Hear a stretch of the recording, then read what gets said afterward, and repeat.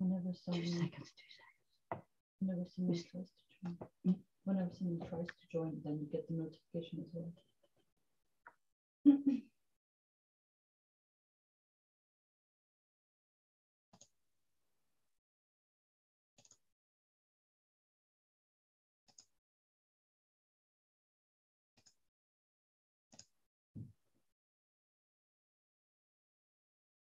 So, good afternoon, everybody, and welcome to our Silver Circle Autumn Online Gathering. It's wonderful to see everybody, even though some of you are really, really up very, very, very early. People are coming in from all over from California way through to India. So, welcome everybody to our autumn gathering. It's just the beginning of autumn. First of all, I would like to just give a little bit of an idea about how and where Silver Circle are from, who we are a Silver Circle.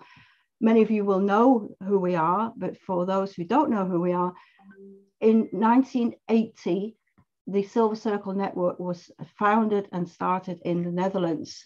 Uh, the same time, we also started the magazine Wiccan Rede, which is still, in a digital form at least, still going strong. So Silver Circle has been around for uh, more than 40 years now and is operational in many countries. And in many senses, we have been able to introduce Wicca to many people. Many people coming through from paganism and looking for experienced witches and trying to find out a little bit more about Wicca. So that's been one of our main functions to inform people and hopefully give good information about uh, Wicca, especially about Gardnerian Wicca. So it's basically ours. And here we are today. Wiccan Rede, as I said, is still functioning as a, an Anglo-Dutch magazine. The Silver Circle forums and websites are also multilingual. We have Silver Circle websites in Russia, Germany, Spain, and the, the, the Dutch one is also Anglo-Dutch. So that's all we have about Silver Circle. But Wiccan Rede, we've had many, many people writing articles for Wiccan Rede over the years. And today I would like to highlight some of those authors by letting them tell us a little bit more about their background or one of their favorite subjects. Without further ado, I would like to introduce Rhys, who has been a member of our own circle. We often call them circles for many, many years. I've known Rhys quite a long time. He's uh, also a member of a Gardnerian Coven in Suffolk in the United Kingdom. And he was initiated in the craft in 1995 and has been a member of three covens in that time. He has a master's degree in philosophy and works as a teacher, teaching young people with autism, teaching them history, citizenship, and religious studies. He lives, as I said, in the Suffolk countryside along with his wife, Martika. Today, he's going to be talking about Wicca, a mystery tradition, the great work. So, Rhys, would you like to start your presentation? Thank you very much. Right, I should just uh, share screen here. We want that one, we want this one.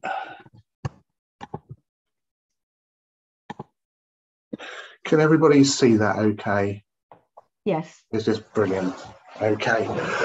So thank you very much for, for listening to my talk.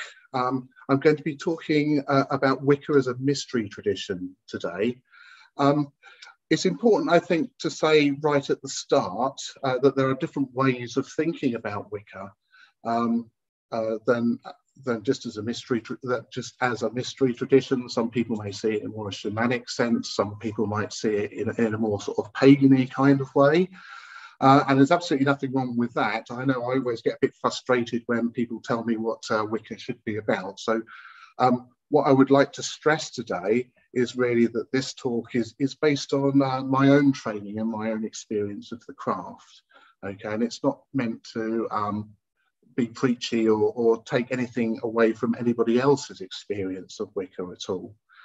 Um, So I just wanted to sort of say that at the start. I mean, when I was uh, when I was trained in the craft, I was trained uh, uh, to think of the craft as a, a tradition that was about the worship, celebration, and participation of life.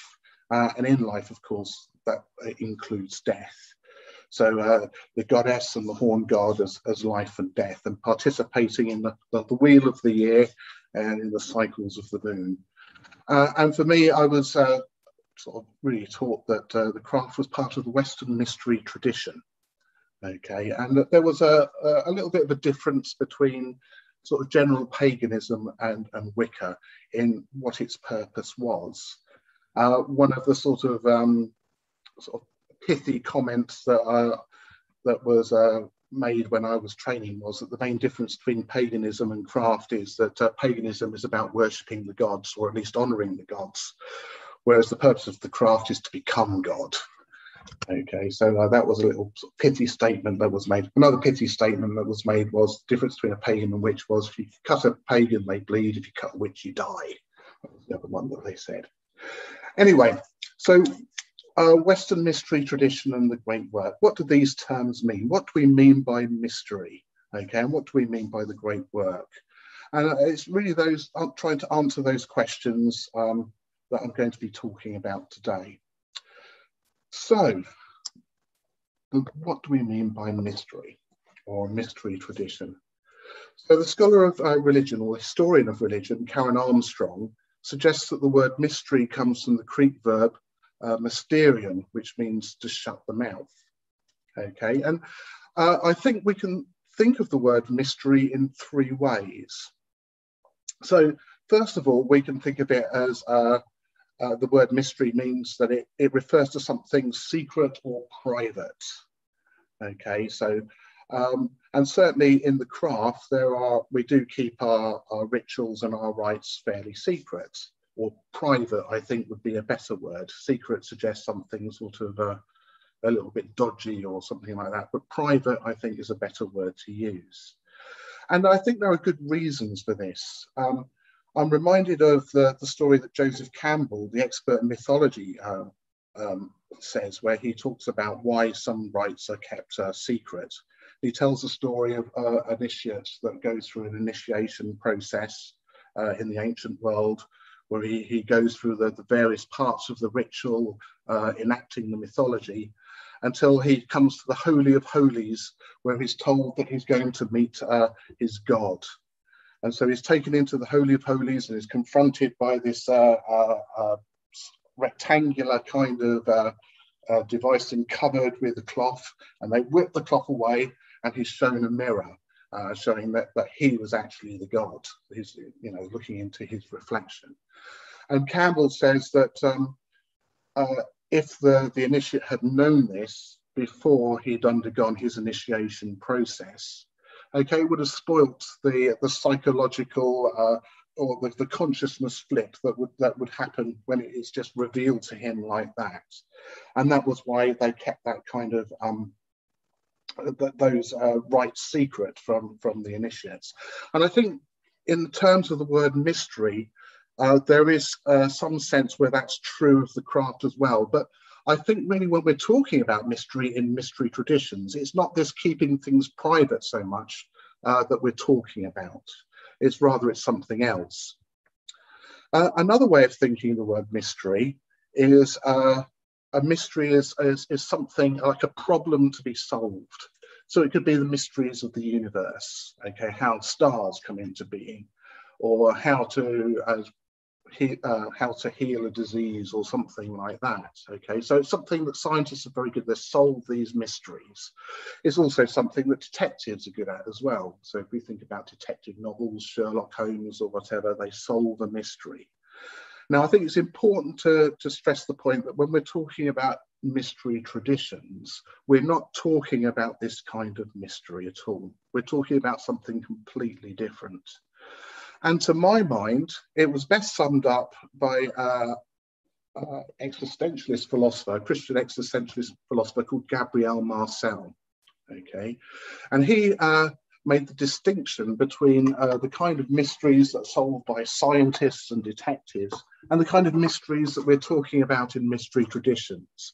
And there's a wonderful quote from his in Karen Armstrong's book, The, the History of God, okay, where Gabriel Marcel distinguishes between a problem, something met, which bars my passage and is before me in its entirety, and a mystery, something to which I find myself caught up in, and whose essence is not before me in its entirety. So what Gabriel Marcel is saying here is that a mystery is some kind of experience, some kind of experience that goes beyond everyday language's ability to describe. Hence going back to Karen Armstrong's idea of uh, closing the mouth, okay? So it's, uh, it's something that we participate in, okay, but we can't adequately describe it in everyday words. And so we tend to use the language of poetry or mythology uh, to try and get across something of that, something of the nature of that kind of experience. Now, when we're talking about religions and uh, the occult and uh, um, sort of mystery traditions, okay, these mysteries uh, could be the mysteries of nature, and the or they could be the experience of, of the divine okay? Often they could be what's called peak experiences, if you're going to use the language of Abraham Maslow, uh, or flow experiences, or they can be sort of numinous experiences. So just to unpack some of those words a little bit very quickly, peak experiences are those experiences that you have where you're like in the zone and, you know, it's just it's just like that sort of really great kind of in the zone kind of experience it's very difficult to describe in words, hence why maybe it's a mystery. Numinous experiences are experiences that we have where we're in a sense of awe, wonder, sometimes dread, okay, of, um, uh, of what it is that we're experiencing. So, for example, if we're in a, a, vast natural landscape, we could have the sort of numinous experience of being very, very small within that vast landscape. Or if we feel we're in the presence of a god, we can have the numinous experience, that numinous relationship with the God. Okay, so that sense of wonder and dread that something very important, fundamental, and special is happening to us. And in a sense, these are mysteries. These are the kinds of mysteries that we experience in mystery traditions. They could be the rising of the sun, or they could be more archetypal and visceral, as in life experience, such as the experience of giving birth or the experience of sex and sexuality, of, of uh, sacrifice, giving things up, growing old and death. These are all sort of archetypal experiences that people have and are celebrated within the um, within with, within Wicca and the craft. Okay, particularly these archetypal experiences of birth, growing up, sex and sexuality, parenthood, sacrifice, growing old and death. All these kinds of things are tied up within the myth of the Wheel of the Year, and the Wheel of the Year is about what's going on in nature around us, which is a wonderful thing to celebrate. But it's also uh, a celebration of our own lives. It uh, gives us these sort of ritual points, okay, where we're dealing with these fundamental, visceral kind of experiences of participating and being alive, uh, but allows us to hang our own meaning on these things as well. And that's kind of part of, of what, what might be called the lesser mysteries okay, being involved in the wheel of the year and experience these kinds of things and re-experiencing these kinds of things, reflecting on them, finding meaning within them as, as in the process of our, our own lives. Um, but uh, the mysteries can also have a profound effect upon us as well. So we're all familiar um, with the idea of the, Delph the, the Delphic oracle, you know, with the legend, know thyself, uh, uh, over the, the sort of entrance. Okay, Socrates, of course, also talks about knowing thyself and a, a, an unexamined life is not worth living and so on. Now, Vivianne Crowley, in her uh, excellent book, uh, Wicca, uh, The Old Religion in the New Millennia, which I, to my mind is uh, still the best book on the craft, uh, says that these sort of uh, participation in the mysteries can also lead to inner change. Okay, and uh, this is part of what we mean by the great work. Now, the great work is a term that's been used uh, in occultism, particularly the sort of hermetic style occultism, uh, for years and years and years. And it's the idea of uh, inner transformation, okay, and then sort of growing towards this idea of oneness with the divine, um, which I think is an important part, at least from my own experience in the craft as well. Okay, so the idea is um, that by participating within uh, the rituals and exposing ourselves to the mysteries, okay, it has a process of, of uh, uh, helping us to understand different parts of ourselves. And then using this kind of information, we're trying to transform ourselves, to expand our consciousness, to transcend our ego, okay, so that we can start to have uh, the experiences or the direct experience of, the, the divine. Okay, so I think uh, this is an important part of, of craft work is this inner change and this inner work. This idea of transcend, transcending the ego. The ego is that part of ourselves of which we think we are. Okay, and by carrying out occult work like the craft and so on, okay, we're trying to expand our sense of who we are beyond just the ego until it starts to include the divine as well. Okay, and that way, uh, as we are all part of the divine anyway, we, we come to raise our consciousness, okay, so that we identify not just with our narrow sense of who we are, but with a, a larger sense of self, which in the end, when it leads towards mystical experience, includes the whole of the cosmos. Uh, Aleister Crowley said, had quite a lot to say about the great work. And for him, it was about uh, uniting different aspects of ourselves, our psyches, uh, uh, sort of the ego, male and female, ego, non-ego, he says there, microcosm, macrocosm, okay, around the central point, constellating around the self, okay, and expanding us the, the sense of identity to include the divine. And uh, one useful language to use, and it's uh, the language that Vivianne Crowley uses in her book, um, Wicca, the Old Religion and the New Millennium, is the language that was given to us by the Swiss psychologist Carl Jung, uh, who uh, was very much influenced by the Western mystery tradition, uh, particularly Gnosticism and Hermeticism, as well as Eastern traditions as well, uh, all of which try to do similar sorts of things. where he said that the sort of process of uh, that we go through a process in our lives where we become more and more who we are. And again, it's just about transcending the ego. It's about saying that we're more than just who we think we are. Okay, there's a lot more to us than that. And Carl Jung's uh, process was the idea of expanding this sense of who we are to incorporate these different parts of ourselves. Um, I've got a little bit of a diagram there. It's not particularly a very good diagram, um, and it's quite sort of complicated to go into. So I don't want to say too much about that today, but it's a language that is well worth looking into if you're interested in in uh, um, in finding a language that is useful for working in, in, terms of the great the great work and, and inner change and so on. But I would certainly recommend Vivianne Crowley's book. Okay, so yeah, it's, it's the process of individuation, becoming who you are, uh, which is a a lifelong process. It's not like enlightenment where you suddenly just get it and sit back and drink sake. It's a lifelong, continuous kind of process, as is the process of identifying, expanding of ego um, to include the sense of the divine. So in the craft, um, we do this in, in various ways. This, uh, this idea of the great work of uh, working on ourselves and expanding our sense of identity and consciousness to include that of the divine. So we might start off by balancing the elements within us. Now, the elements earth, air, fire, and water, they also represent aspects of ourselves as well.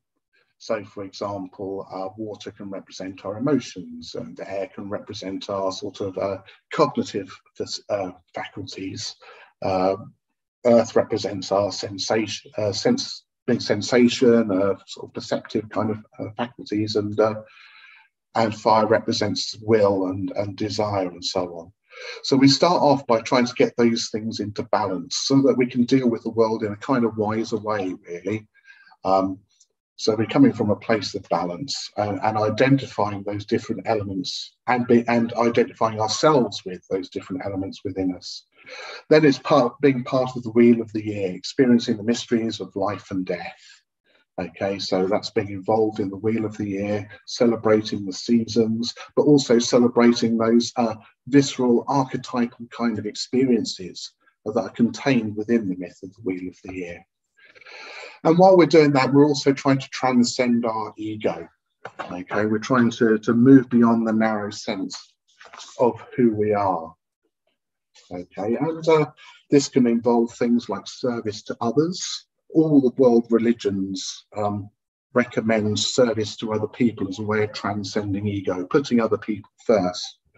But it's also part of what's meant by keeping silent as well. Um, so people that are always um, bragging on Facebook and things like that probably aren't uh, transcending their ego, perhaps, if they're grandstanding a lot. Okay, um, we're trying to, to, to go beyond this narrow sense of who we are and identify with a larger self. Okay, so if we if people need to have a lot of um, praise and input, it makes it very difficult for them to transcend their ego by transcending our ego, then invocation of the gods. So this is raising our, our awareness, raising our consciousness, um, so that we become aware of the gods within and without ourselves as well. Okay, so idea of as above, so below. Uh, that is uh, very popular in, in sort of Hermetic traditions. The idea is that we are the same as what's outside of ourselves. Okay, if we find the gods within ourselves, then we'll find them outside ourselves as well. Okay, so it's this raising of consciousness. So I don't tend to see invocation as calling something in, rather, I see it more of a raising of consciousness so we become aware uh, of our connections with the divine. Okay, and start to identify with that divine as well, not in an intellectual sense, but in the sense of um, uh, experience, uh, if you like, this experience of identification with the divine. And in that in itself is a mystery. Uh, then we have the Great Rite later on, which is a reconciliation of polarity. So it's bringing all these disparate parts of ourselves together uh, to make one sort of whole uh, union, of which we then identify or have the experience of identifying with Godhead.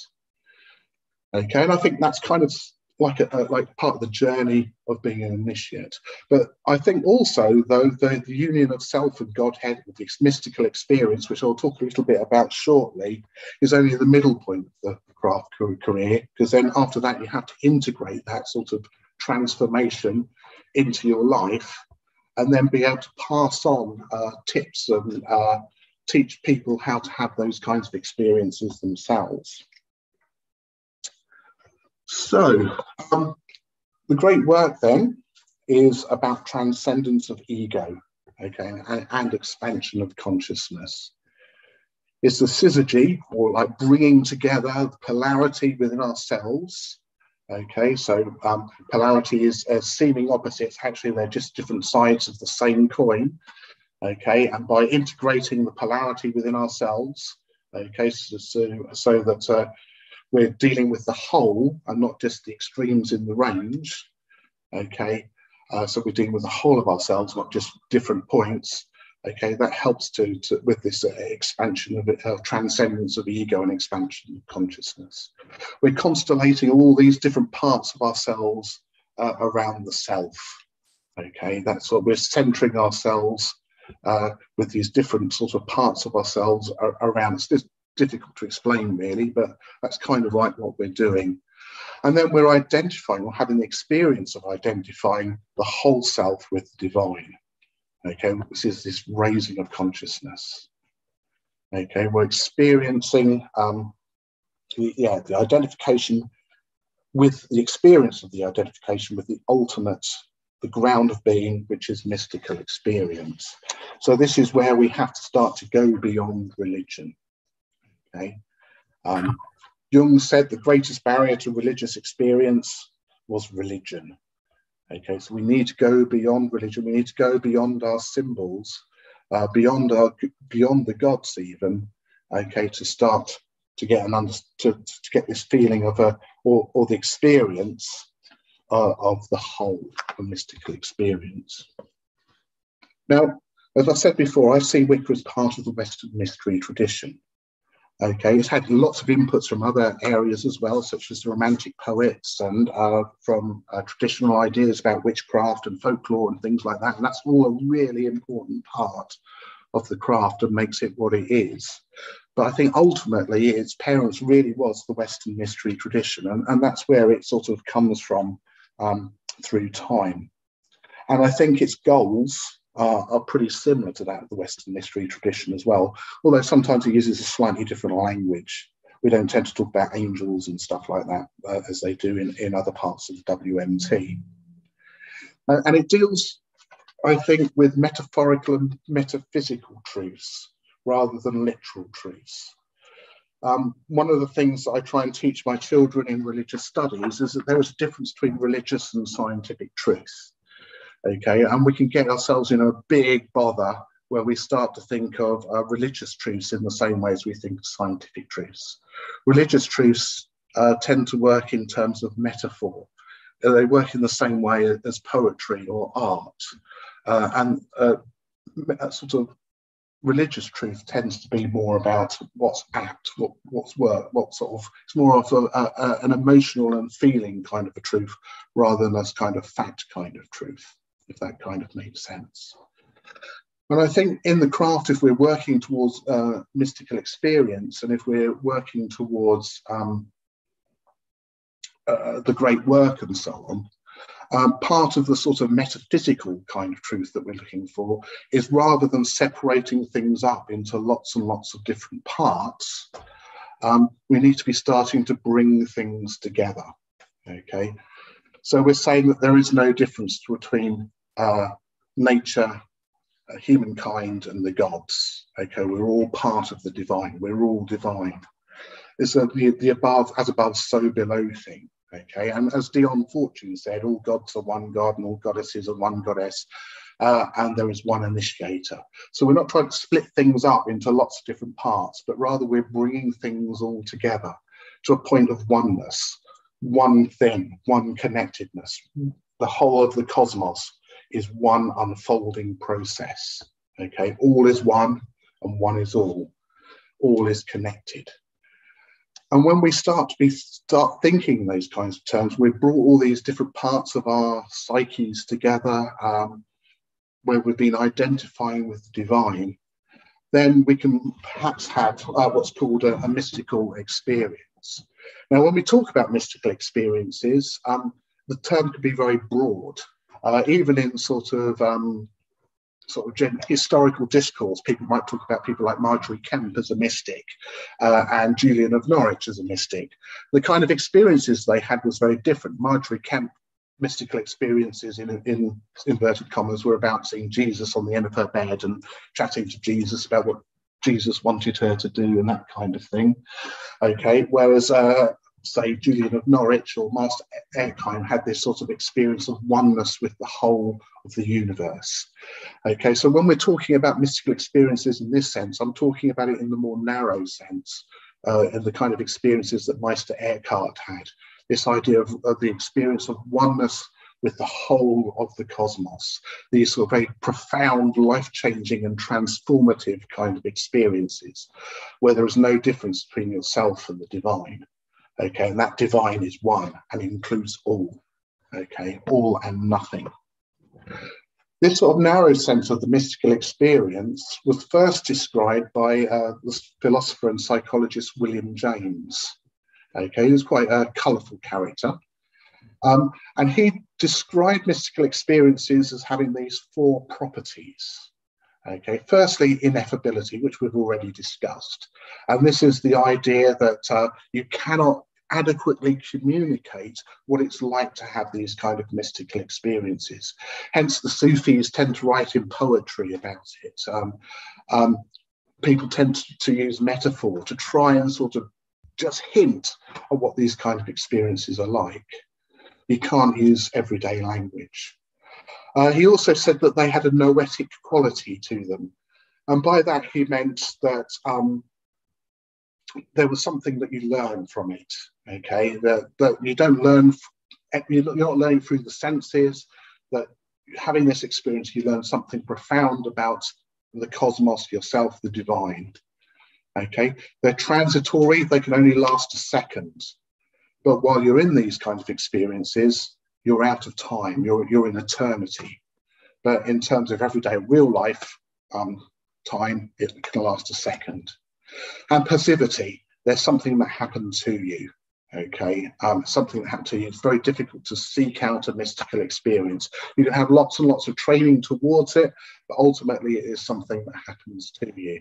It can often happen in things like deep meditation. I'm thinking of things like the the centering prayer that uh, um, franciscan um, monks and nuns use that can sometimes lead to mystical experiences. The kind of meditation uh, that we do in craft uh, enactment of ritual can also happen in times of depression and despair as well. Um, but it's usually something that happens to you. And a mystical experience in this sort of narrow sense is defined by an experience of the union with all. Okay, so it's being, you know, at one with everything, to use that sort of old kind of idea. You know, you're, you're one with everything. Okay, and it can be profoundly transformative. It changes the way you see life. Okay, it takes away the fear of death. Things that might have seemed very important to you that you might have been anxious about before will just disappear. You know, they don't seem so relevant or important anymore. Okay, and it often leaves people with a, a, a sense of um, wanting to enjoy and live uh, life to the fullest as well. So, what I hope to have uh, really just very briefly gone over in this talk because um, there's not very not very long to talk about a very very big subject. Is that the craft? I see the craft as a mystery tradition, a mystery tradition in the sense that it, it introduces us to the mysteries of life and death. These are not problems to be solved, but things to be experienced and to gain meaning from. There is also the process of the great work, where we try to transcend our ego Okay, so we try and become to identify and experience being more than that sort of narrow sense of who we are. And part of that is by uh, raising our consciousness to realize and have the experience of that we are part of the divine, that we are the goddess, we are the God, we're part of the goddess, God. And then from there, it's leading on to the mystical experience in the very narrow sense of the word, where we have the experience of oneness with everything, okay, which is a profoundly transforming experience, okay, and then that hopefully leads us on to, to wanting to be able to help other people have that kind of experience as well. Mm-hmm. And it's an experience that can change our lives. So, so I shall leave it there because I think we had about yes. 20 minutes so. I was just going to say, uh, Rhys, there are actually a couple of people who have questions, and I'd really like to uh, uh, sure let's um, let's hear the different questions. Um, Deborah has asked the question on her question is could you speak a little bit more about the western mystery tradition and celtic tradition and norse tradition and the world tree how does this relate to wicca uh, i think that's going to be a very long question but could you just give in a very very short uh, couple of sentences how the mystery tradition relates to Celtic and Norse tradition? An expert on the Celtic tradition. I, I know a little bit about Norse mythology. Um, I, I uh, the Western mystery tradition is is really sort of based on sort of things like uh, Neoplatonism and, and Gnosticism and Hermeticism, um, which I don't they, they, take quite a bit of explaining, as it were. Um, the Norse tradition is a sort of a, a pagan, pagan, tradition, um, and I, uh, something I've been looking at recently is this: I uh, the, the the Norse tradition that we have is only like a little kind of um, snippet in time, because uh, the, the, the Norse tradition tend, got written down just as it was coming to an end in the Viking Age. Um, so we, we've kind of got the end of that. Although I, I was you can definitely see that, that like Yggdrasil, the, the world tree, um, I suppose you could sort of, uh, in a way, it's a cosmology in a similar way as the, the Kabbalistic tree of life is a cosmology that refers to various powers within within the human psyche and within in the world. So I can suppose you could, you can definitely see it in that way. I, I was Um, just thinking that as well, uh, uh, Rhys. Of course, many of these symbols are universal, and as Carl Jung has said as well, there are so many uh, symbols which overlap, of course. Yeah. Um, just to again, I'm sorry, we're going to have to cut this very short, but I'd just like to mention um, uh, a comment that uh, has actually uh, posted. Um, he's asked actually if you've read Don Frew's essay "Wicca as a Theurgic Tradition," and I haven't actually. No, I'll, I'll look out for that. Definitely. yeah, well, well uh, of course, Don, I've I actually invited him to this uh, meeting. Unfortunately, he's not uh, come on, but um, I will definitely uh, connect you to to Don at a later stage. So thank you ever so much, uh, Rhys. Oh, I'm sure we'll be hearing more. Again, everybody, if you want to read more of uh, Rhys's articles, of course, he is one of our authors in Wiccan Rede Online. Thank you very much. So thank you, thank you. Thank you. Without without further ado, I'd like to introduce Melissa as our next speaker. Now, Melissa's not new to the craft. Um, I, she's got quite an impressive bi biography, but I'm just going to keep it fairly short um, because she has been involved in paganism, in Wicca, in OTO for a long time. But one of Melissa's key interest is the performance of ritual, from personal devotions to experimentally transcending the boundaries between outer forms to facilitate common communion with the divine. She is a sought out after ritual leader in Europe and Scandinavia, where she has led the famous firewalks. And this has been for sometimes for more than 200 people. So she's melded different traditions into coherent group rituals and explored adapting the work of magical forebears. She is delighted to have crafted thelemic rituals, usually operated by one person, into successful open pagan rituals, and to have achieved dramatic metaphysical phenomena within some public circles. I'm sure a lot of you will know Melissa also from the Pagan Federation. She's also a trustee for Pagan Federation International and a long-standing personal friend. Melissa?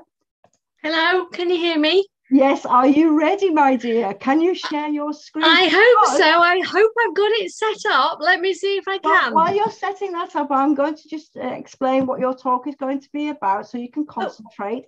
Oh, Um, Melissa is going to talk about Margaret Murray. Now, Margaret Murray um, has been debunked, but in recent years, people are beginning to realize that perhaps not everything she said was uh, was kind of loony.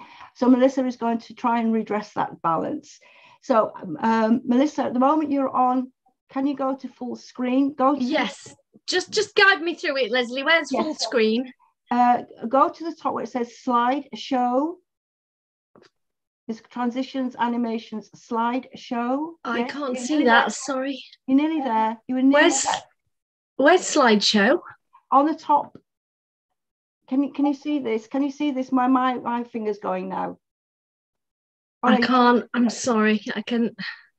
Okay, go to under the orange band, and then you've got file, home, Yeah. insert, draw, Yeah. design, transitions, animations, slide, show. Click on Oh, slide. that that is hidden by my band here. oh, I can't. I can only get to stop video and security. I can't see it. So I uh, can only do it like this, maybe. Okay, well, we'll, Um, uh, it's better than nothing. Don't worry. Um, I'm, I'm very sorry. I, I've got a big band across my screen that's that's hiding that. Um. No, I can't. I'm, it's Anybody getting worse. Um, uh, uh, Melissa, hi, this is Catherine. Good to see you. Um, down at the below your presentation, yeah. there's some little icons, and one of them looks like a, a screen. It looks like an open book. Open It book. looks like Yeah. a screen. Click on that. The open book. I've got it. Okay, Is that better? excellent. excellent. Perfect. There we But are. how, how do I change my slides now? How do Well, I move? it? click You on just you'll just click. You'll just click and you'll you'll be able to change your slides. Okay, well, I'll, I'll shout for help. This is the best I can do. Sorry, guys. So, right, the thing about this is that when I just stupidly stopped doing what I was doing and got into studying psychology and then a PhD on why do people become Wiccan. Uh, Vivianne Crowley was my supervisor, and she sent me off to research the actual background. So I spent nearly a year sitting in the old British Museum, the beautiful thing under the dome, reading everything Margaret Murray had published and just enjoying it and reading all these old books. I'd verged into John Dee and everything. It was nowhere getting me my PhD, but it was wonderful. And then people asked me to talk about it. So it became a talk that went right across Europe and it's been published in Wiccan Rede. And then Morgana asked me to turn it into a, a talk today. And so I've only literally just finished the PowerPoint because it's so old it didn't have a PowerPoint and I did run out of time. So I'm sorry, but there is an old copy of this talk in Wiccan Rede from probably 25 years ago. But it's worth revisiting it now because people are beginning to see what she might have been up to. And I'm going to have to gallop you through this with uh, two slides a second, a minute. So, Margaret Murray was from a wealthy Anglo Indian family. I'll leave this writing here for you. Um, so you can look at it. She's from a very wealthy Anglo Indian family, and her father was a businessman who was three times the head of the Chamber of Commerce in Calcutta. And her mother was a missionary who went out there to be a missionary with the main aim of educating people out of poverty, particularly women. And they lived a colonial life, but they were friendly with the servants. Um, and she really enjoyed the whole uh, Hindu lifestyle that she grew up in. Um, very different, like Gerald Gardner. She didn't have a formal education, but she had an inquiring mind. And so you can see how these colonial people were growing up with native people and getting a very different view of Christianity in the world around them some of the new people researching her have started looking into this. So one of them says um, that she is um, a hybrid Indian and uh, English uh, person and has actually published her recipe for meat curry, which I think is rather nice that she was giving out in the old days in England. She lived to be 100 years old and had a fantastic sense of humour, publishing her autobiography calling it My First 100 Years. And that's actually where I got most of this information from. It's a fabulous read. So she had a very busy childhood. Um, going between India and um, England. I'm going to have to rush through this. So she got sent off at seven to live with her uncle and his wife, who was a vicar. Uh, lots of church in the family, but he took her to the ancient sites.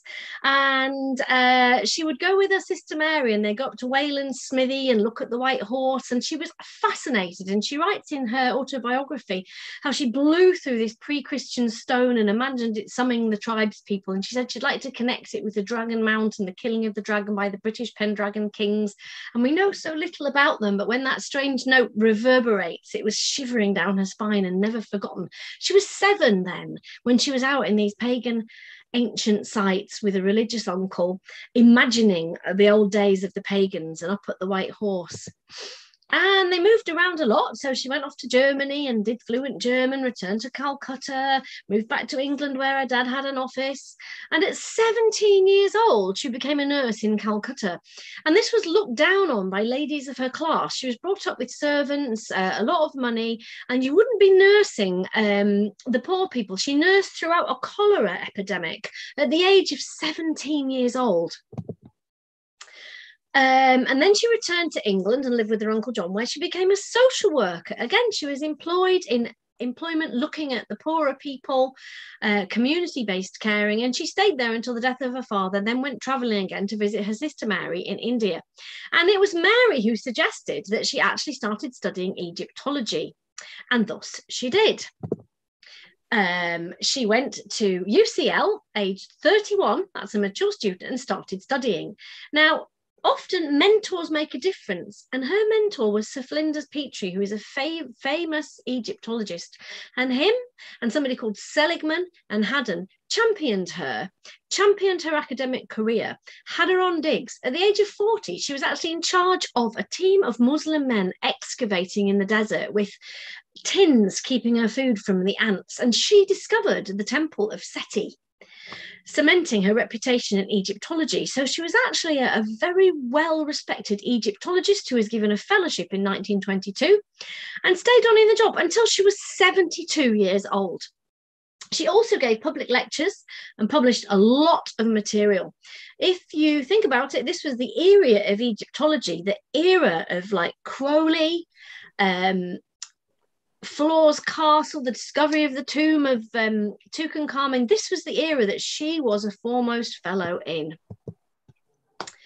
So she was actually a very successful author. When I had this wonderful time in the British Museum, I read all her books, and there were millions of them, doing many excavations Palestine, Malta, Minorca, involved in all of it. 44 items in the catalogue of the British Library, no finite record.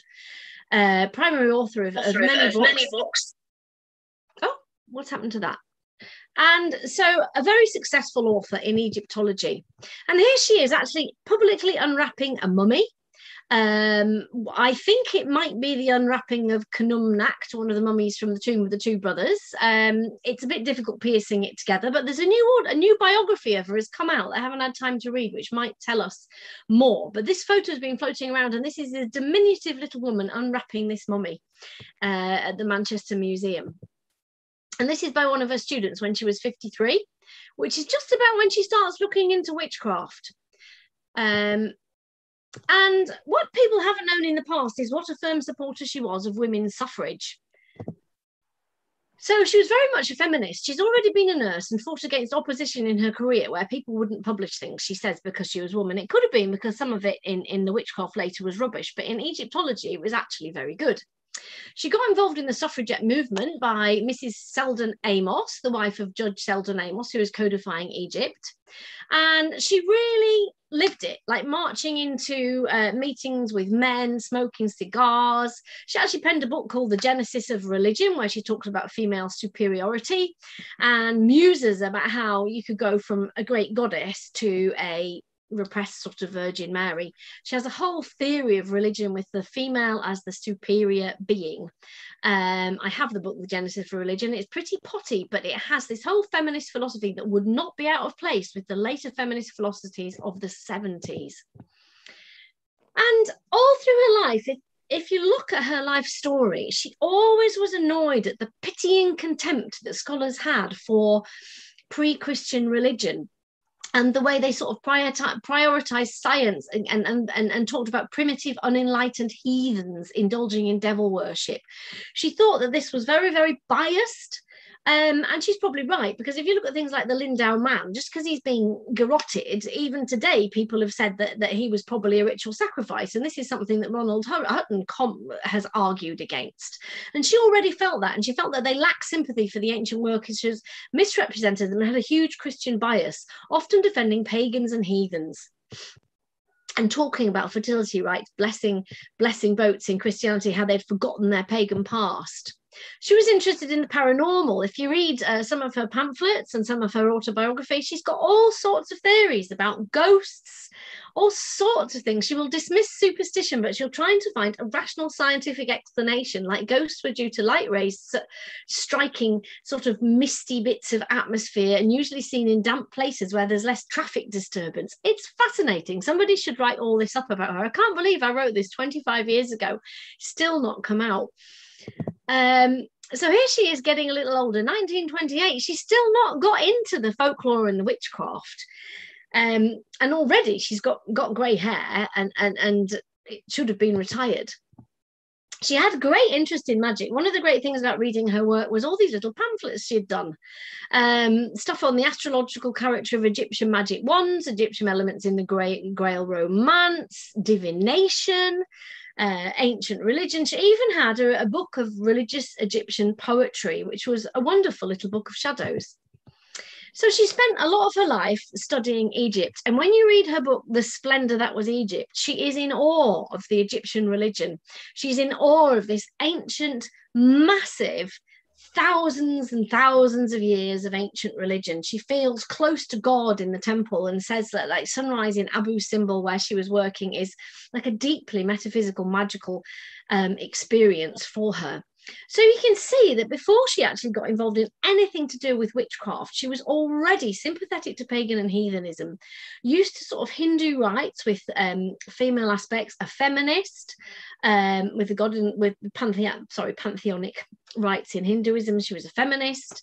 Uh, she's looking at pantheons in ancient Egypt. She's seeing powerful figures of femininity, mystery, magic. All that's going long before she gets introduced to anything to do with witchcraft.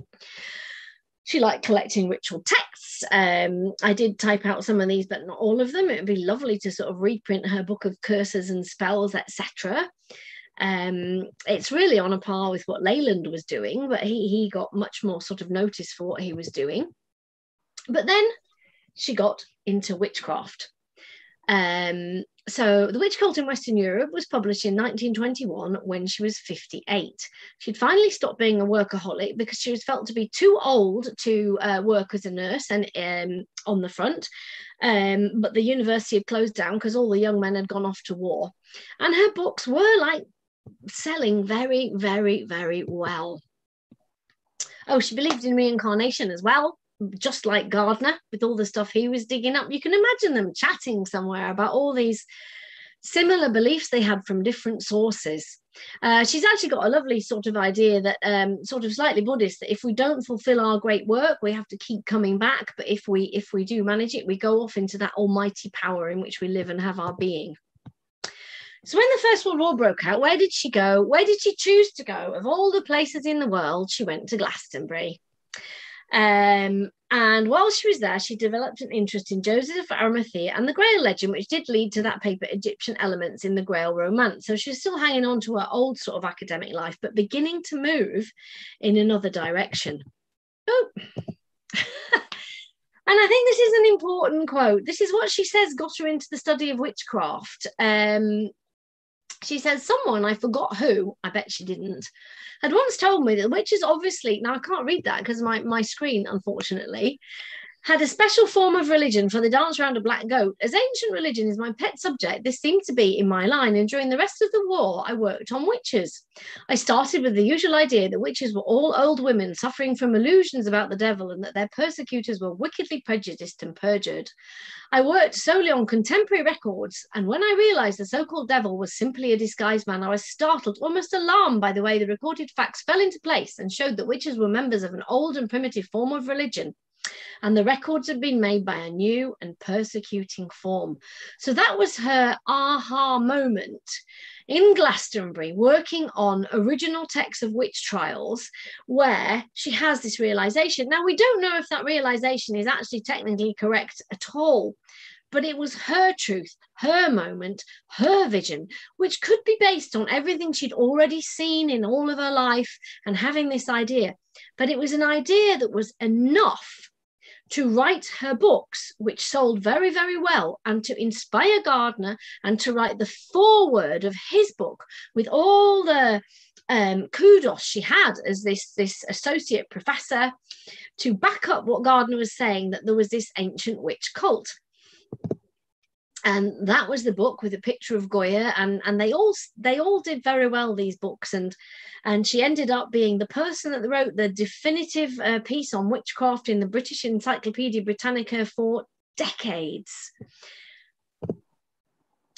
um, so her theory was that there was a witch cult in Western Europe, and she, she, she just went completely keep writing about that. And she proposed a model of a male dominated witch cult with covens characterized by a master who is the man in black, often called the devil, with an initiation that included the renunciation of Christianity, a covenant, a new baptism, and the receipt of the devil's mark. Now, she's got this from the Confessions, but she's also looked at other things and depicts frolics of the Esbat and the Sabbat. We still use these words with homage, dancing, music, making music and love, feasting, magical practices were very simple sort of fertility rites, uh, magic, divination, blah, blah, blah.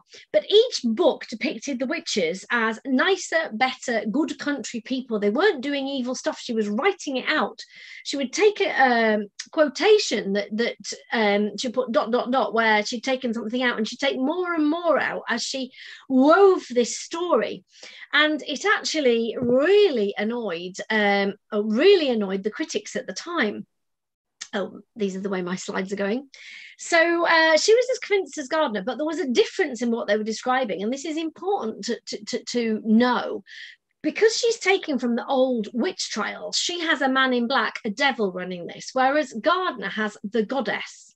So they're actually very, very different images. Her having something that has all that sort of um, old looking craft with the devil, with the man in black, with the goat, and Gardner's new thing, which fits more into what we do and into modern feminism. These are core different practices. So it is worth remembering that.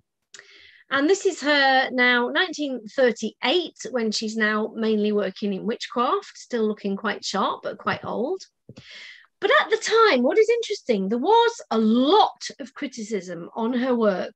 Um, all the academics at the time were absolutely horrified.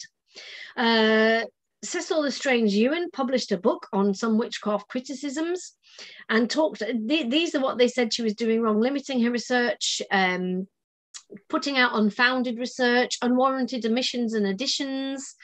Um, he's saying maybe this wasn't intentional, but when you put it together, it's not right. She's complacent in her views. Uh, other people carried on criticising Parrinder, Thomas, Cohn, chipping away at it, Kieckhefer, Monter, Clates, Levack, Quaife, even Hutton 1991. So there never was an academic support for what Margaret Murray was writing, ever but the support was just that people loved it. It fitted with what they wanted, just as it fitted with what she wanted. Um, and it gave Gardner the support he needed to get going. Remember, he came on as an anthropologist that had found the ancient witch cult that she had talked about, and that's how he was writing. He wasn't saying he was making it up as he was going along, or that they were little scattered covens like we now know from Philip Heselton. So the academics never uh, supported Murray, but but they they just saw her becoming um, this figure.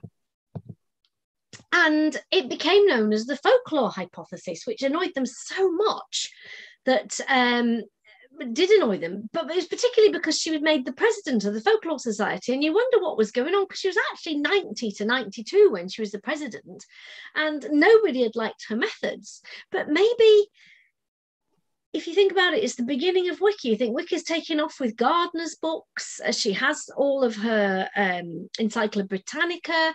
You just before the swinging 60s.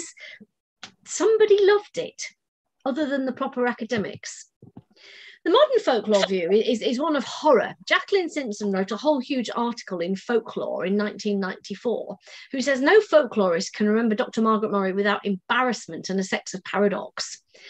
Um, I won't read it all because I'm sensitive to the time, but she was deeply flawed with illogical arguments, and it, she only wrote eccentric books that harmed the reputation of the society and the status of folklorists. It's disturbing to see it known as the Murrayite or folklorist hypothesis. She only wrote one article on witches, and reviews of her books were far from enthusiastic. So folklorists repudiate this, but it was called the folklorist hypothesis by um, people beginning to study the modern history of witchcraft that were beginning to study where it might have come from other than this lost old religion.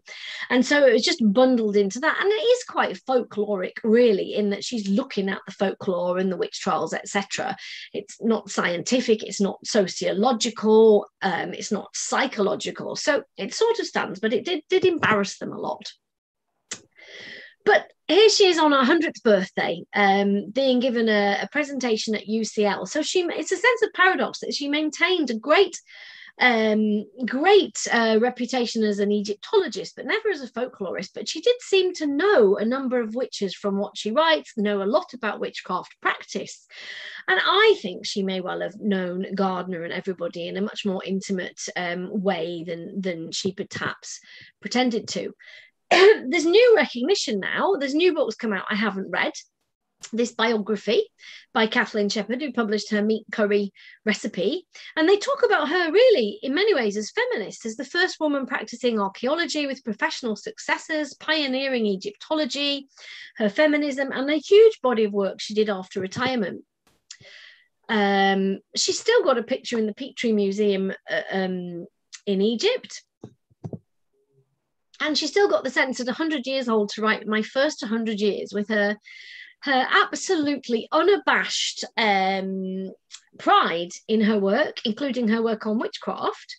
And to say, if you look back at her quote about the life work, that um, it is up to us to do our work and we are each called to do the divine duty. And she also says about Emily Davidson, I don't know why I get upset because she was a quite a rebel, that some women die in self-sacrifice and people just say that they were they were deranged, but some women know what they must sacrifice to achieve that duty. Um, so she willfully ignored her own sources, and Simpson says she had a passionate system building of rites, initiation, dates for festivals, discipline, and hierarchy within current covens.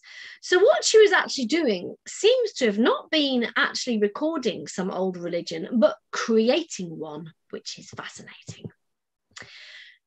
Um, and Simpson says uh, she has this massive inclusion of all sorts of things. It's just this magic kaleidoscope that she crashes together into this thing that they find embarrassing. But if you think about the swinging 60s coming up and it's psychedelic and it's looking for shamans and teachers and opening the mind and all that, she's actually right on target. If you think about Robin Hood, the Celtic mysteries, etc., she's bang on for a popular populist movement.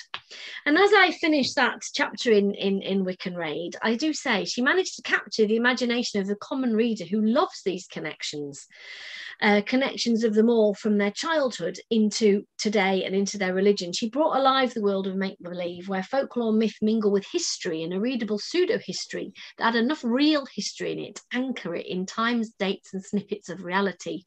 It was sound inspiration and near nonsense mingled, but in that mingling, she wo- wove the enduring magic um, that we all have bought into today we still don't really know the roots of Wicca and we still all practice it. But I think we owe Margaret Murray for having allowed it to grow with that supportive gardener before people like Ronald Hutton and Philip Heselton could find our true history. And I think it's right that people are beginning to look at her as a feminist and um, incredible influence. And also, it was her that Gardner got his 9 million women from, which she got from Gage. And Elizabeth Gage is an American who used to run the freed slave underground railway. So you're looking at people that were so dedicated to others in the great work that Rhys has just been talking about in service that perhaps they lost sight of what was around them, but always kept sight of their goals. So that's it.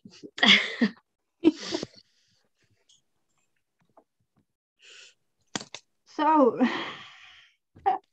Melissa, thank you ever so much. I've just reminded everybody that it has been live streamed. Everybody can watch this later because you you really have packed in so much information, and I'm sure a lot of people will really enjoy watching this again. And I have I I tried to find the um, the article you wrote in Wiccan Rede many years ago, but of course it was in the paper version. So uh, there will be a request very soon for, hey, Melissa, can we have that article again for uh, Wiccan Rede online? I, have still got that old paper from 25 odd years ago, uh, so I, so I can do it. And unfortunately, I've got some unfortunate stuff going on in my personal life, so I couldn't put this PowerPoint together as well as I wish to. First one I've done on that paper, and there's a lot more in it, so you, you can all have the paper, yeah. Yeah, brilliant, brilliant, brilliant. Uh, we did have one question. I've, I've, uh, there was a question about Margaret Murray and theosophy. Uh, I can't remember who it was from because it's. Um, I don't know. I don't remember. Um, oh, the book, my her, first 100 years, should be republished. I, I don't know, but it was all going down at the same time, wasn't it? Yes. Um, I mean, actually, there's um, uh, our friends uh, from India. Um, I know at the time, of course, the Theosophy Society was very popular, of course, in in um, in Calcutta, and the British Asian Society.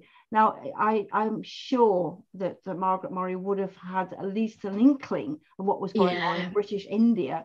So it's yeah. very possible that she would have um, dipped into theosophy. I can't. Well, well, exactly. You see, these are the links that they're still there to be yes. researched. If you think she grew up with that around her, if you think about her ideas on um, on reincarnation. I mean, I'm just looking at a paper that I've taken quotes out of ages ago. She probably says more in that biography, and probably Kathleen Sheppard does as well. But if you look at the timing of when she was active, she was born in 1863 and died in 1963. It's right through the magical revival. She's doing all that Egyptology when MacGregor Mathers is dressing up in it and the Golden Dawn's reviving the rituals, and it's a small world. Absolutely, yeah, yeah, yeah. It's anyway, like Philip finding all these people that were knocking around together in nudist camps and things. Um, obviously, she did know these people, and they would have been at her Egyptology talks and things. Yeah, I, I was just suggesting that she probably met uh, Gerald Gardner at the Atlantis bookshop. Well, she might have- Crowley, we knew Aleister Crowley did. I mean, they'd all go off to the plough uh, on the opposite side of the road. I can't see Margaret Murray in the plough with um, with Gerald Gardner, but I can see them drinking tea.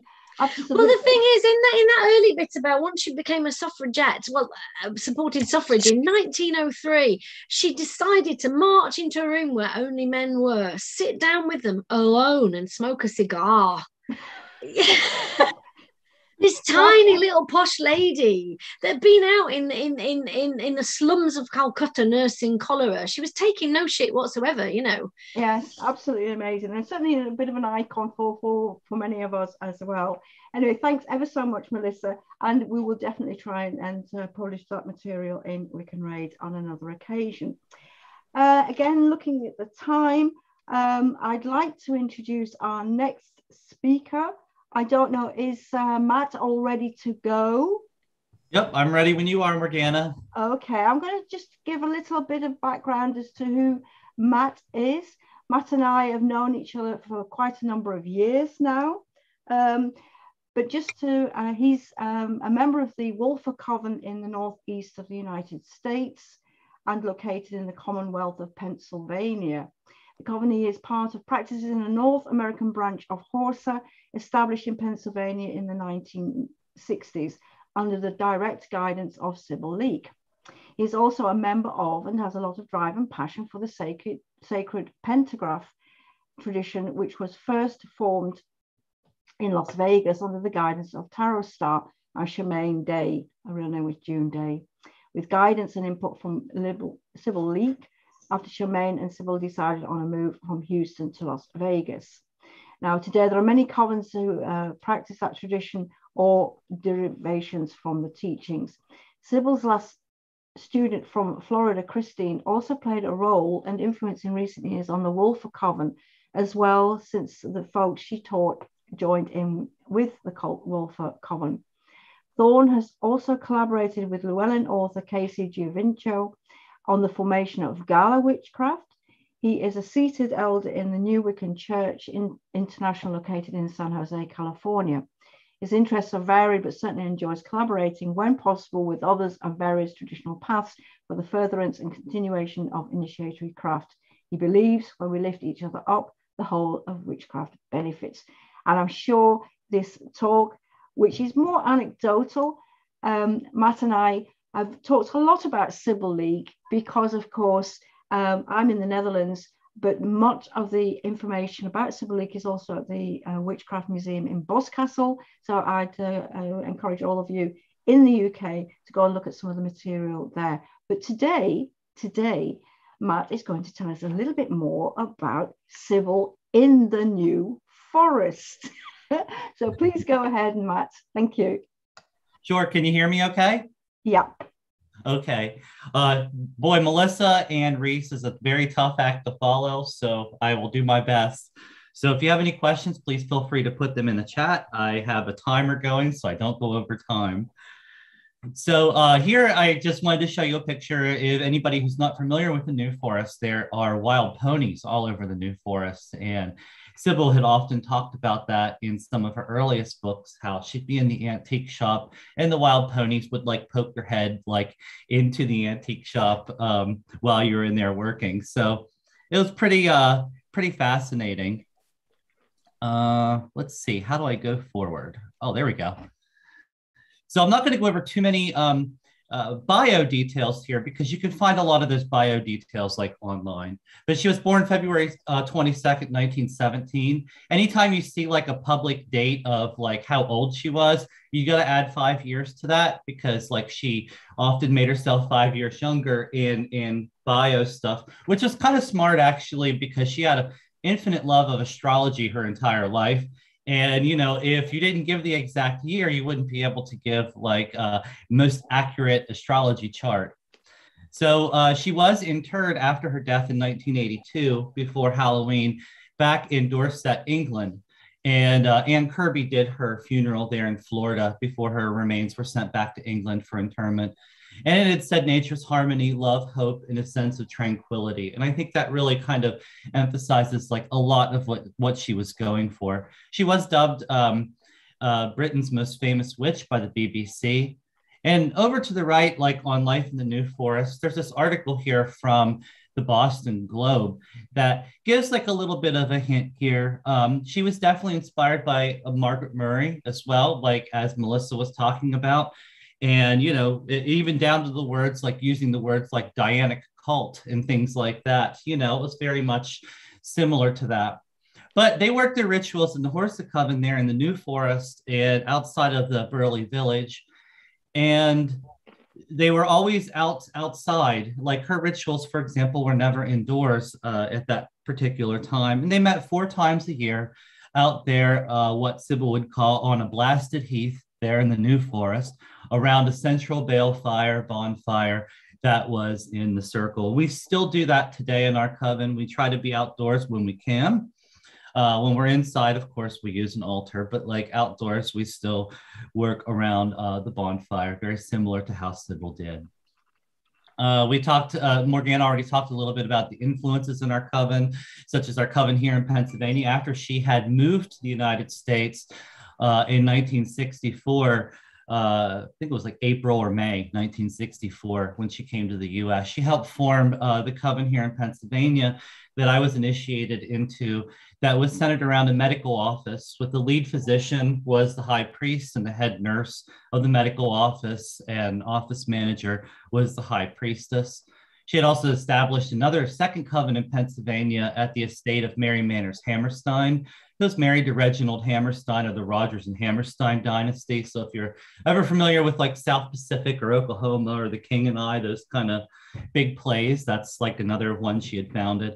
She did some work with Marcia Moore as well up in Connecticut. Um, Marcia Moore was a hotel heiress uh, to was oh Sheraton Sheraton hotels. So if you ever stayed at a Sheraton hotel, um, but yeah, Charmaine Day and you know had they had met in Houston and had moved to Las Vegas together to establish Sybil's astrology school and Charmaine her occult shop. So Sacred Pentagraph basically became uh, out of that relationship. And Christine Jones in Florida, her very last student that uh, she had trained, um, also um, became very important to our coven as her folks ended up joining with us after Christine's death. I always ask the question, you know, did Sybil Leek uh, start the Horsa Coven or join it? There's, we don't know. We don't know. Um, there's stories, and I always try to like separate what we know as craft myth versus craft fact. And so I, I kind of always ask that question. We don't know, but like we what we do know is that in the 1950s she was working in, in the New Forest itself outside of Burley Village. Her earliest initiates though were in Ringwood, where one of her earlier uh, craft um, or one of her earlier antique shops were located. And if you actually look on some of the government websites or, or the village websites, for example, on the Burley Village website, they mention Leek right on the front page of the website on Burley Village saying witches, smuggling, and dragons are also part of Burley's unique character. During the late 1950s, famous white witch Leek lived here. She was often seen wearing, um, often seen around the village in a long black coat with her pet jackdaw. Also over here on the right, you can see the official New Forest website. So you have the Burley Village website of the town. The official New Forest website also has a picture there inside Burley Village and talks about Sybil Leek here on the left-hand side of the screen. You can see what it says here um, about Sybil Burley having the having uh, has a unique and quirky character uh, with witchcraft playing a large role in the village history. During the late 1950s, Sybil Leek, famous white witch, lived in the village, often seen walking around in her long black coat, cloak and her jackdaw.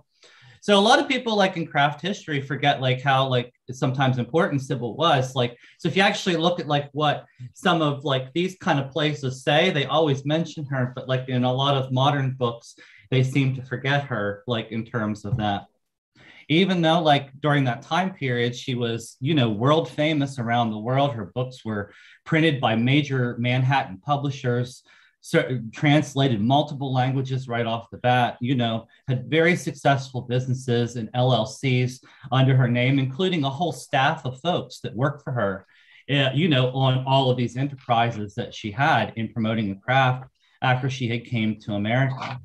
But back in the New Forest, for example, in Burley Village, you'll even see like one of the famous shops there in Burley Village. And this little image there on the right is was was a little replica model of a coven of witches, which is a store in um, Burley Village in the New Forest that Sybil actually named.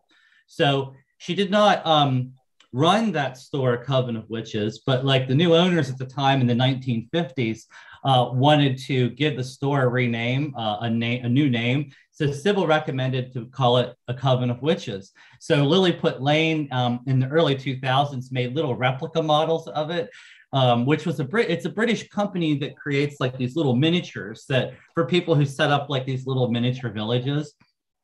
Um, so I took a photo of like my copy of the Coven of Witches here uh, for you to see.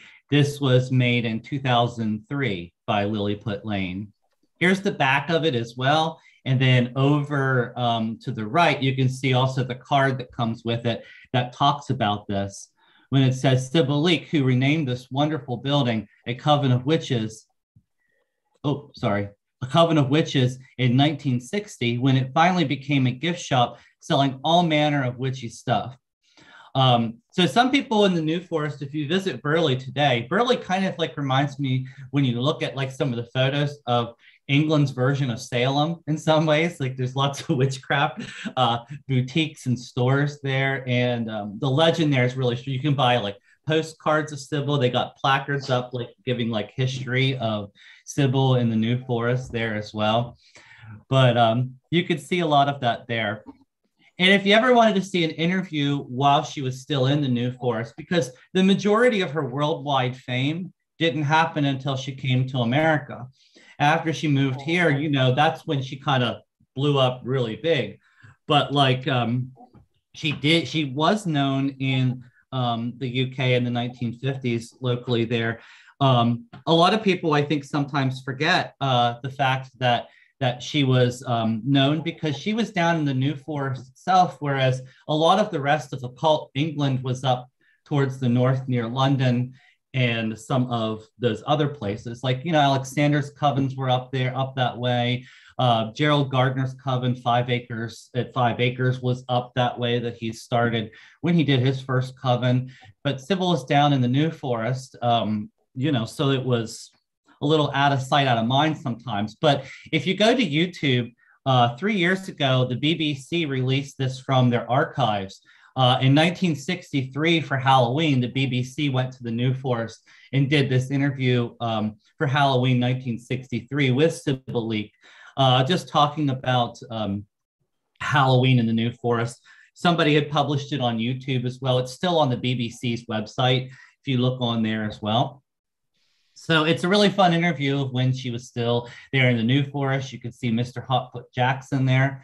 A fun story about that. Um, Dor, uh, Sybil Leek knew Doreen Valiente pretty well. Like at that particular time period, Sybil had uh, became the first president of what was the Witchcraft Research Association. But when she moved to um, America, she turned, I think, the presidency over to Doreen Valiente. Uh, in Doreen's Rebirth of Witchcraft, she talks about how she got to hold Mr. Hotfoot Jackson, and she could tell how he got his name because his feet were actually were, were really hot to the touch. And that's pretty cool, but it's actually not where he got his name from. Uh, Sybil was a really big fan of jazz, and she would play jazz music at her home there in Burley. And every time she'd play jazz, Mr. Hotfoot Jackson would get up and start dancing, like in the house.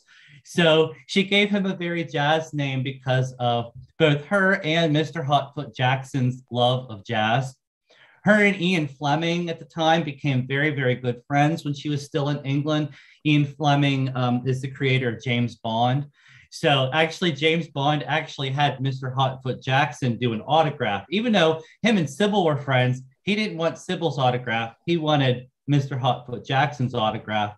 So Sybil gave him a little pen that he could put in his beak and just scratched a little something there for her friend Ian Fleming. but just a fun little cute story of that in the New Forest.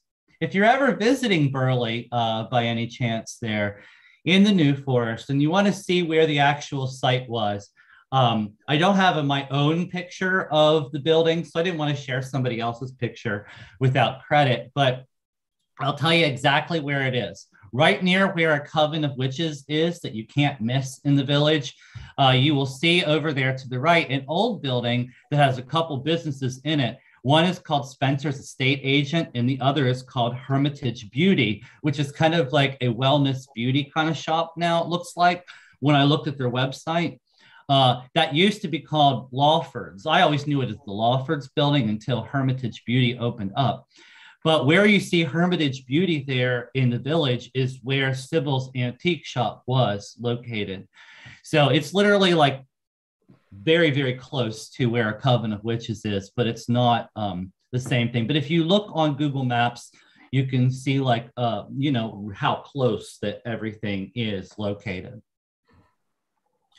So Sybil in the New Forest, for example, she had a very, um, very simple philosophy. She talked heavily about a creative life force behind all things, a universal mind, a supreme being, out of which the mother goddess and the father god or horned god came from. And the tenet of reincarnation was very important to her as well, since her time in the New Forest. She believed that we all came out of this creative life force, and through a process of reincarnation, that we would all be folded back within the ultimate unity of that life force itself. And then, of course, the power of magic. And you can see her talk a little bit about that in her really most famous book, which was her 1968 book, Diary of a Witch, where she says, Witchcraft, is any religion, includes the acceptance of certain tenets, which are based on faith and acceptance of a supreme being or a God without a name. From the supreme being comes life. And by the process of many incarnations, ascending a spiral of spiritual development, we are drawn back into the life force so that was a really nice quote I thought I'd share with you. Sybil uh, also promoted eight tenets of witchcraft, of what she saw as witchcraft. And um, I list those there for you on the screen. If you would like more information about some of those tenets, uh, you can read some of them in her book, The Complete Art of Witchcraft. She published in 1970. Uh, also, Tarostar's book, The Sacred Pentagraph, books one through three. He lists as well um, those tenets and gives descriptions of those. And there's a photo like inside our Coven Temple in Tarostar's book as well, because we're good friends. And then recently, um, Carrie Wisner, who uh, wrote a new book called The Willow Path for uh, Troy Books there in England, he lists um, and gives really good descriptions as well of Sybil's tenets of witchcraft. Some other traditions, like um, witchcraft traditions have adopted some of Sybil's tenets, such as a balanced life, harmony, humility, trust, love, tolerance, learning, and reincarnation have adopted them. And that's pretty cool too. It's really awesome to see those be able to spread, you know, to other places and people that find use for them. And it's not something like we ever like look at to memorize, but like we think about those internally about how those work themselves out into our life.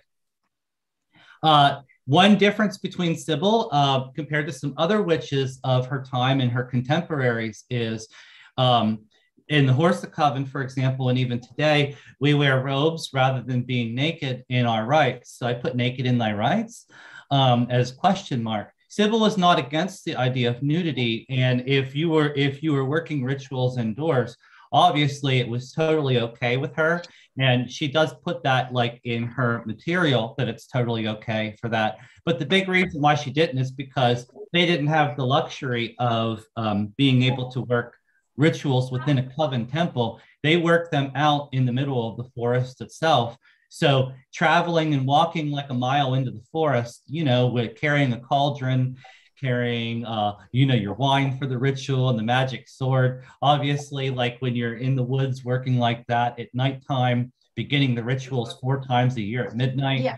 wearing um you are being naked out in the forest at that time was was not easy and she even says that here in her complete article let me move it yeah i'm just gonna talk i think somebody's unmuted if somebody wants to unmute themselves Uh, she even says here, be naked if you wish, but be sure of why you wish to be naked. Certainly, if you feel that meditation is thereby easier, it's the thing to do. And also, we don't feel that clothes, when sensibly chosen, will impede the psychic juices from flowing, for it is within the mind and motions that freedom from sexual restriction must come. Meditation, as well, was a huge part of what Sybil um, really prized. And she was very much into that, even in the New Forest, saying there's periods of time of meditation every day. I learned there's a difference between prayer and meditation. In prayer, one asks the deity to listen while she talks. In meditation, one listens while the deity speaks. I have found many people use prayer almost as a demand to achieve something when meditation might lead them to understand what might be best for them. In my own experiences, we still continued that, like when I was uh, being initiated and trained as well, like in the craft, uh, working outside, um, you know, our rituals as well. There's a picture with me and my high priestess there. Like um, that was maybe five or six years before she passed away. Um, and we worked out on the hilltop outside all our rituals. I think we did every single ritual outdoors, very similar in that manner, except uh, for my initiations. We were all, I was always initiated indoors, but every other ritual was outside, um, you know, and we'd enjoy a meal, have ritual, have a nice little fire outdoors. And then over to the right, you can see we still do this today. Uh, when we're indoors, obviously we have a uh, nice altar set up as well, just like everybody else does, since that is, you know, replacing the bonfire when we are outside. But so we use very simple tools at that time. Picture, uh, artful picture of us outside. Um, this is something that was very unique to um, our practice and in the New Forest itself, uh, the use of ritual besoms. That was very important to Sybil. And uh, they also were very practical tools when walking through the forest itself. Uh, it could be used as a weapon if you needed to when you're walking in the middle of the forest. But also in the New Forest itself, Sybil had talked about how there's lots of wild heather, like the wild purple heather, and they used to sweep the New Forest floor of the ritual site with that wild heather. Here in America, we don't have wild heather growing. so we end up like if we're if we're going to sweep the forest floor like that, cutting a little bit of brush uh, from a tree, such as like some pine, a pine bough, or a little bit of birch or that she had written, and a couple of different things that she was up to. Of course, the, the two at the top there are some of her earliest, a shop in the high street in 1962, and Have Mania Will Collect. Those are about her antique businesses as well. A Fool in a Tree is a good one in terms of if you want like some fun stories about the New Forest, because that book, A Fool in a Tree, that she did in 64, I think it was 64 or 65, was about various stories that uh, and colorful characters that she met in the New Forest. Uh, she does have a small chapter there on witchcraft as well. Um, and you know, and then other folks as well that she had met in the New Forest. Just it's a funny book in some instances. Um, obviously, to the right, you can also see she had a monthly astrology journal as well that you could buy at the grocery store when you're out there shopping. So every month there was a new Sybil Leeks astrology journal magazine that her and some of her staff had worked on. Uh, over to the left, you could see her um, astrology was always a love, even back in England and even here in America. She established an astrology school, three brick and mortar buildings, astrology school buildings originally, that you could learn and take courses in astrology. She even had records as well. This is Sybil astrological de- delineations to the right, where it has ja- appropriate jazz music paired with your astrology sign. And this is a funny uh, photo as well. In 1970, this book you can see the difference between the American publishing houses and the UK publishing houses. In America, you can see the name is obviously emphasized, photos and things are a lot more selly in terms of getting that out there. But in the UK, uh, the title is a lot more emphasized to the book rather than the person's name but that's that's always sometimes like a bit of criticism that like we have like here in america about how sometimes things get very heavily marketed. But you could see like that's how that's how publishers kind of did things and marketed things. Just by looking at that you can see how that was. And then there's a few more selections of her books. She wrote a lot of books. Um, you can see a bunch of them here on the screen. Here's some more books, including Sybil Leek's astrological, astrological guide to the presidential candidates that you could you could buy. And actually, she did predict the winner every time. So she was very good at that. Tomorrow's headlines today and some of her other ones has very accurate predictions that have come true. So she actually would predict the presidential candidates, and she was right. Here's some more of her books that you can see, including like, you know, some of her most famous books, like Complete Art of Witchcraft, Diary of a Witch, Sybil Leek's Book of Fortune Telling, astrological cookbooks. There's merchandise you could buy at the toy store. Over here on the left, you can but you can see a round astrology puzzle that was official Sybil Leek merch back in the day, uh, including she had posters. There was wheels that you could hang from your ceiling. Like, I mean, there was all sorts of really cool merch as well that you could find. Over to the right is a picture of initiation. It still carries on. We still carry on initiation um, that Sybil Leek had taught and passed down. I know I condensed a lot of things, so I'm stopping here to see if there's any quick questions. Hi. Let's see. oh, hang on. Hi, Matt. So uh, that's absolutely amazing. I've been uh, posting a few things like where the, where Burley can be found on Google Maps. It's uh, we had a lovely time tracking down her little cottage, uh, yeah. which is now called Little Monty, and it's a little um, uh, uh, little pension, sort of almost like bed and breakfast. So it's wonderful. But there is a question. There is a question from Susan.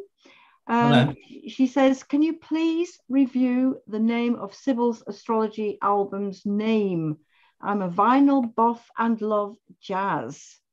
Oh, sure. Yes, it was Sybil Leek's astrological delineations. Uh, there it is. Um, your astro- your delineations and your music. So Sybil Leek's astrological delineations is the name of the album. And she gives a little introduction as well to each of the pieces of music. There's obviously 12 pieces of music on it um, one that's appropriate for each of your astrology sign? Yeah, Lydia was asking uh, what astrological sign was was Sybil. She was uh, Pisces. Sybil was Pisces. Um, she was born February 17th. So she was a Pisces uh, close to the beginning. She had a Scorpio rising sign. So that's why she could, you know, she was very quick witted, but also had a tendency that she could bite if she needed to. Um, and you could see that very much because of her rising sign of Scorpio, but her uh, sun sign being in Pisces. Amazing. I know I went through a lot of that really, really quick, but that's okay. Um, I, you know, I'm obviously like available. You know, feel free to anybody can reach out with any type of questions because I just kind of skim through like a lot. But yeah. well, I've been reminding people, uh, Matt, the the live stream, of course, will be uh, saved, and uh, what I'll do next week is I'll um, edit it with all all this information, also the links with uh, all of you and books, etc., etc. So this is why I wanted to actually record it. So I've been very busy writing questions and what have you, but everything is under control, under control. and uh, of course, what we can do is uh, this again, like Melissa's uh, talk, like Rhys's talk as well, that can be converted into um, articles also for Wiccan Rede. So uh, this is why it's been so wonderful hearing all of you, uh, because of course many, many questions are being uh, raised, but it's really nice to hear you in person. So any more questions? Because as we're coming to a close now, we will be um, stopping the recording and live streaming before we go on to the next session. So any more questions before we round off this first part of our wonderful gathering? Anybody had any questions for Melissa or for Rhys? I think everybody's stunned, Matt. yeah, maybe. I don't know. Like I, I, I, I think I covered a, a good bit of ground just with the short period of time. But I love this format. Actually, it's actually pretty cool.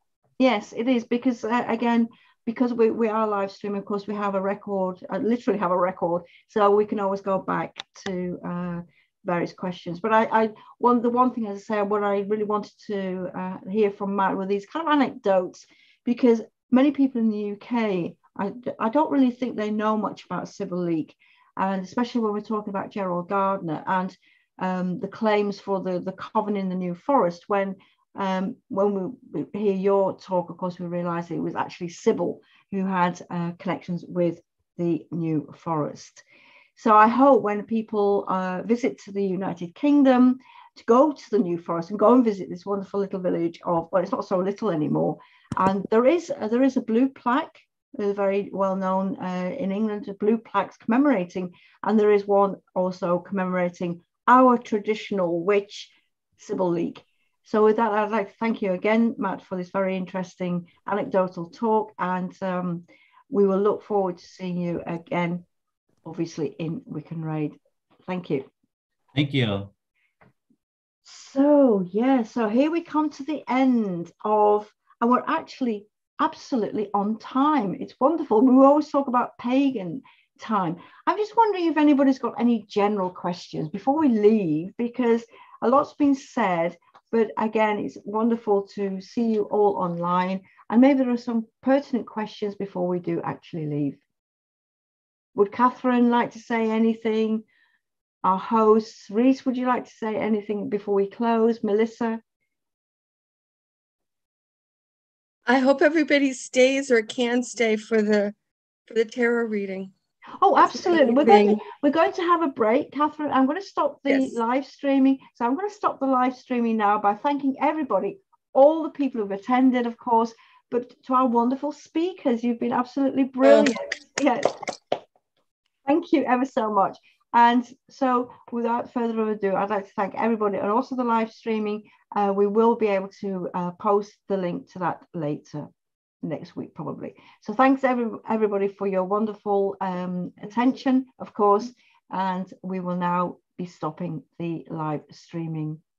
There's one more question in the chat. Oh, hang on. Somebody just said, told me uh, there is a question.